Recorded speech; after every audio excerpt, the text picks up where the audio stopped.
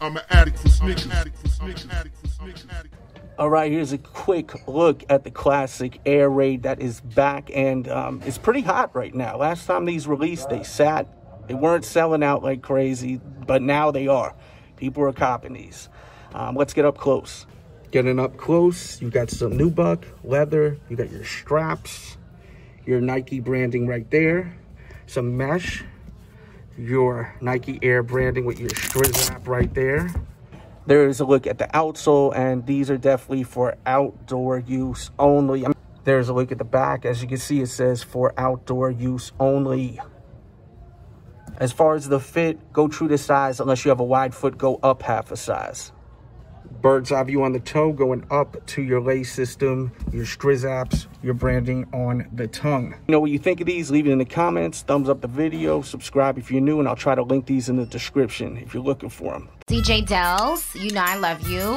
Sneaker Addicts, what's good? It's your boy DJ Delz. We're taking a look at these Halloween-inspired Reebok shoes. You have the Kamikazes inspired by the Jack-O-Lantern, you have the webs. These are the Shaqnosis, and you have these Iversons, which um, are pretty sick. How it, has got that layered vibe. Um, all of these are really nice. They will be releasing on the 14th at midnight. I will link them in the description box below if you're looking to pick them up. Um, let me know which one is your favorite. I like the Iversons the best, honestly and then I'll go with the kamikazes. The kamikazes very dope, and then we would go with the um, Shaqs after. But let me know which one you like better. Leave it in the comment box below. I definitely want to know. Thank you all for tuning in. Thumbs up the video. And Once again, this will be linked in the description box below if you're looking to pick up your pair. They will be linked in the description box below for your convenience. The materials look awesome on the shoes.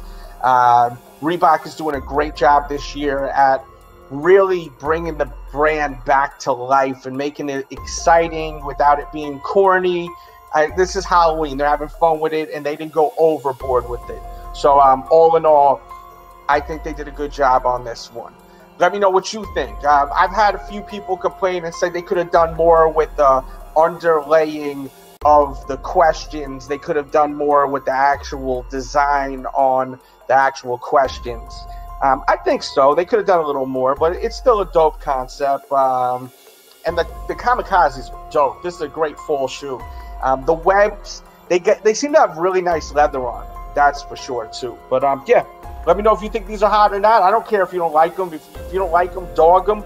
And this is going to be uh, the Delz Show exclusive. Once in a while, we will do sneaker vids here, mostly collectibles and interviews. But I have the Sneaker Addict channel, and I did not want to flood out that channel. But I wanted to give you guys a heads up on the shoe. So they will be releasing on the 14th at midnight Eastern Standard Time, and there will be links in the description box below to help you out with picking these up. Thumbs up the video, subscribe if you're new, and everyone have a great day. Much love. We out.